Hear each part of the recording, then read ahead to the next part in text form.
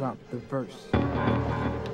It's going down, face of black. All right, welcome into Spillane Field, everybody. Jacob Toby alongside Jake Garcia, Andre Sims, our field reporter, and Matt Feld, our beat writer, all on hand tonight as the 12, 16, and 1 Brewster Whitecaps are going to take on the 13, 13, and 3 Wareham Gatemen. This will be the sixth start of the season for Canine. Has gone 21 innings so far, 17 strikeouts and six walks. And the second pitch of the at bat clunks Bryce Jordan in the back of the shoulder. And the second pitch allows Jordan to go down to first base. Not a good start there from Brett Canine. 11 up, 11 down for Wareham so far.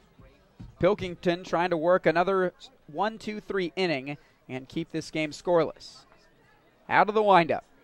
Swung on and miss. Bart comes up empty, and two strikeouts here in the inning for Pilkington as we remain scoreless heading to the fifth. From the stretch, the catcher lining up outside, and it goes all the way to the backstop.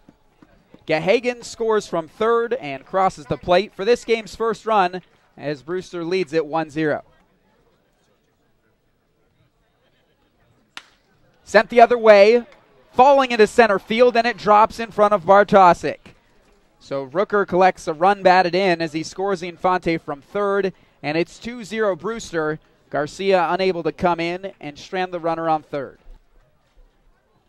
Adrian Tobalin, the batter, he slams one deep to left field. It goes back. See you later. Adios.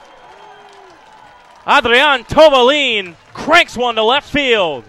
Two to one.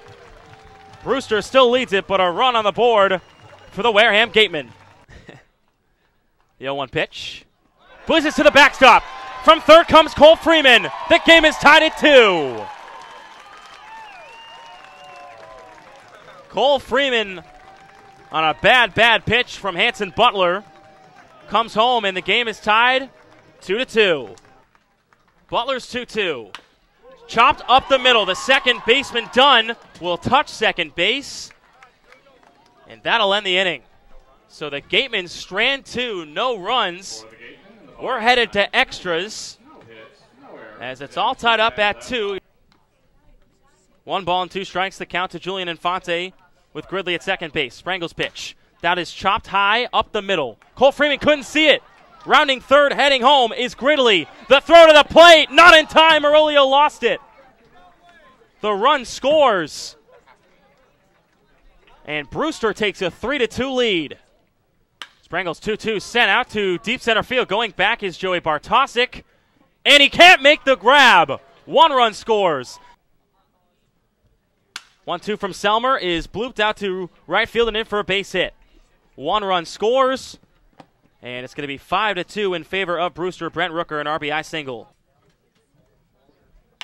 That one sent out to center field, but the second baseman Nicholas Dunn ranges to his right, makes the catch, and that retires the side. And the final score tonight it is five to two. Brewster gets three runs in the top of the tenth to take this one five to two here at Spillane Field.